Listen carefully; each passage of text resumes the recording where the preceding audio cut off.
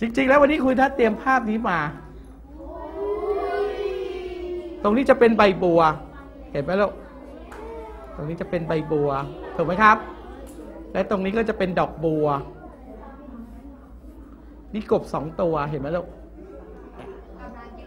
ตอนแรก ตอนแรกคุยทัศน์กล่าวว่า ไม่เอากบตัวนี้ไว้ตรงนี้ สมมุตินะ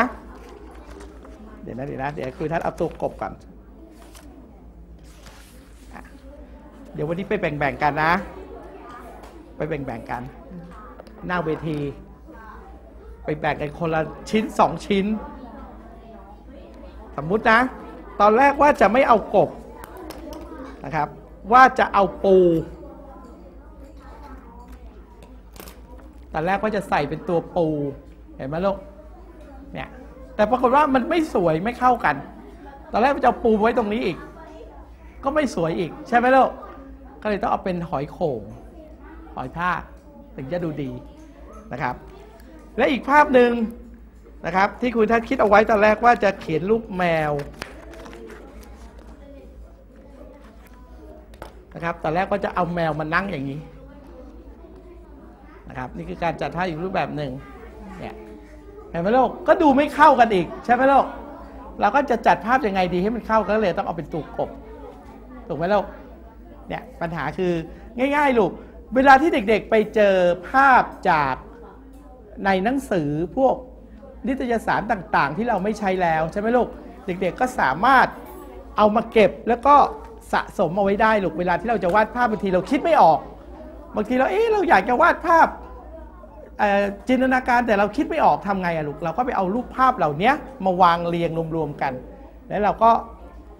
เหมือนกับลักษณะเหมือนเมื่อกี้นี่ลูกแล้วก็วาดตามนะครับนั่นคือลักษณะแบบนั้นเหมือนกันนะครับอันนี้อันนี้คุยทัศน์ก็ยกตัวอย่างให้ดูนะครับเด็กๆเหมือนอย่างภาพนี้ลูกเห็นไหมลูกนะภาพนี้ก็เหมือนกันก็เป็นลักษณะง่ายๆ เห็นไหมลูก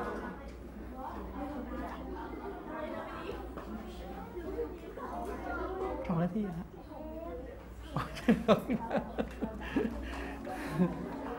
นะเนี่ยอ้าวมีใครอยากจะอวดไหม เอามา เชิญ มีเวลาอีกแป๊บหนึ่ง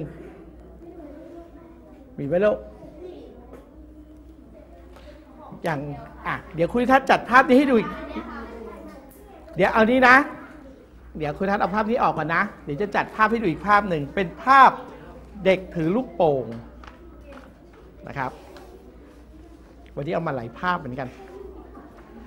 นะเช่น คุยทัศน์ก็ไปหาจากหนังสือมา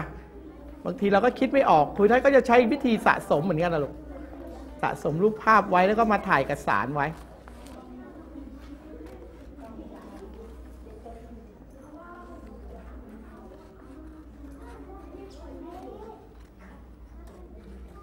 เช่นคุณทัศน์ต้องการจะวาดภาพเด็กถือลูกโป่ง สมมุตินะครับ อันนั้นก็คิดรูปทรงลูกโป่ง รูปทรงลูกโป่งรูปนี้มันเป็นรูปทรงอะไรรู้ไหมลูก ไม่ใช่ลูก รูปทรงจากภายนอกจะเป็นรูปสามเหลี่ยม แต่เป็นลักษณะสามเหลี่ยมที่เราจับเอาปลายแหลมทิ่มลงถูกไหมลูกอะถ้ายกลูกโป่งออกก็จะเป็นรูปนี้ ถูกไหมลูก อันนี้มาวาง ถูกไหมครับ โทษนะลูก ทีนี้คุณถ้าต้องการให้เด็กถือลูกโป่งนะครับ คือภาพที่อยู่กึ่งกลางกระดาษอยู่แล้วแต่เราบอกว่าเอ๊ะภาพมันควรจะดูดีกว่านี้ เอาเป็นภาพแนวตั้ง เดี๋ยวนะครับ ภาพแนวตั้งนะครับ สมมุติว่าเด็กยืนอย่างนี้ใช่ไหมลูกนี่ตัวเด็กยืน เราก็ต้องมาดัดแปลง มือเด็ก ถูกไหมลูก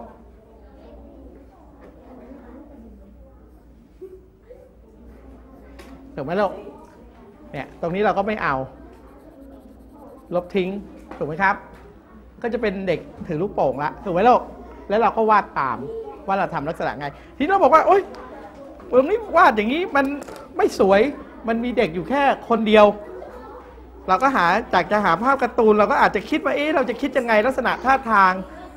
อะเราก็อาจจะตัวนี้มาใส่หนึ่งตัวถูกไหมลูกเห็นไหมทีนี้เราบอกว่าอ้าว แหมภาพยังดูไม่ดีอีก เพิ่มอีกอเพิ่มดาวตรงนี้หน่อย มองเห็นไหมลูกเนี่ยหรือ นะเราอาจจะ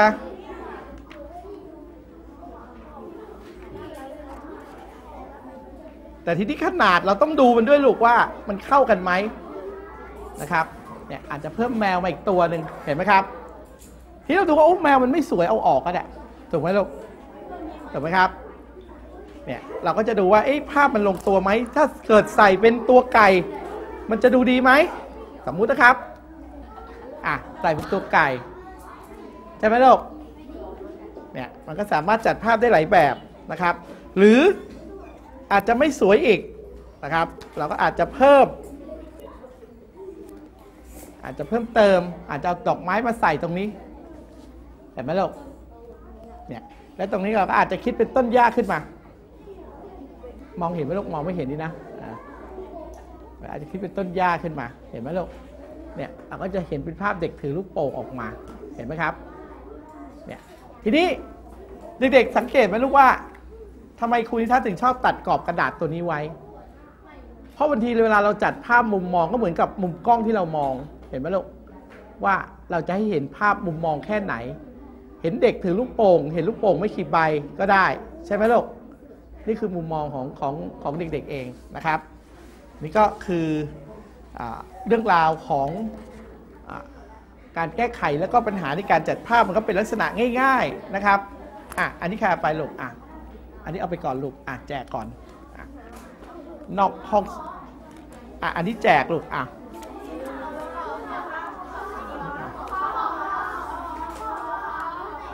อะอะอะนั่งลงกันลูกนั่งลงกันลูกอ่านั่งลงกันอ่าไปแบ่งกันนะลูกนะแบ่งกันนะครับ ทีนี้สัปดาห์หน้านะครับ เดี๋ยวอาทัศน์ก็จะมาสอนเรื่องมิติในการวาดภาพว่ามันจะเป็นอย่างไร วันนี้เราเรียนรู้เรื่องการจัดภาพไปแล้ว เดี๋ยวสัปดาห์หน้าก็จะเป็นเรื่องของมิติของการจัดภาพนะครับว่าเราจะวาดภาพอย่างไรให้มันเกิดมิติความลึกนะครับ พื้นที่ว่างพื้นที่ในลักษณะต่างๆนะครับ เดี๋ยวสัปดาห์หน้าจะได้ให้เด็กๆ ได้เรียนรู้กันนะครับ วันนี้เรื่องราวของสีสันทัศนศิลป์นะครับ ในตอนปัญหาและการแก้ไขในการจัดภาพเด็กๆก็คงจะเข้าใจแล้วว่า เราควรจะแก้ไขอย่างไร เราควรจะดัดแปลงอย่างไรนะครับ อย่างที่คุณนิทัศน์บอกเลยว่า ให้เอารูปภาพจากนิตยสารต่างๆ จะเป็นภาพคนจริงๆนะครับ ภาพคนจริงๆ หรืออภาพวาดอะไรก็ได้นะครับเราหรือภาพถ่ายที่เราไปถ่ายเองนะครับ แล้วเราก็มาตัดเก็บเอาไว้ เวลาจะวาดภาพเราก็อาจจะมาเอาภาพเหล่านั้นนะมาตัดวางดูว่ามุมมองของเราสวยไหมองค์ประกอบภาพมันสวยไหมนะครับ ดูว่า ภาพตัวนี้มันควรจะอยู่ตำแหน่งไหนตำแหน่งไหนเหมือนอย่างที่คุยทัศตัดรูปภาพแล้วเอามาเรียงให้เด็ก ๆ ดู แล้วเราก็วาดตาม เราก็จะได้ภาพที่ออกมาในอีกรูปแบบหนึ่งที่สวยงามนะครับ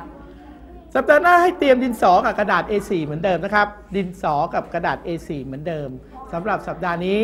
รายการสีสันทัศนศิลป์ก็หมดเวลาลงแล้วครับ กลับมาพบกันใหม่สัปดาห์หน้าครับ สวัสดีครับ